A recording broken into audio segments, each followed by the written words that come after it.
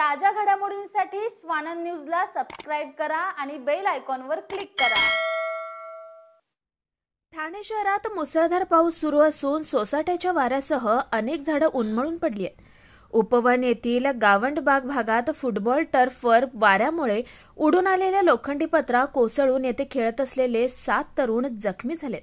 यात दोन जण किरकोळ असून पाच जण गंभीर जखमी आहेत. या सर्वांना नजीकच्या खासगी रुग्णालयात दाखल करण्यात आलंय. उपवन येथे असलेल्या गावंडबाग भागात फुटबॉल खेळाचे टर्फ आहे. येथील टर्फवर वाऱ्यामुळे उडून आलेला लोखंडी पत्रा थेट मैदानात कोसळला.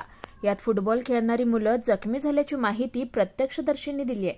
या मुलांना स्थानिक नागरिकांनी उपचारासाठी खासगी रुग्णालयात दाखल केलं असून सध्या त्यांच्यावर उपचार सुरू आहेत. आकाश सहाने स्वानंद मीडिया ठाणे. ताज्या घडामोडींसाठी स्वानंद न्यूजला सबस्क्राईब करा आणि बेल आयकॉनवर क्लिक करा.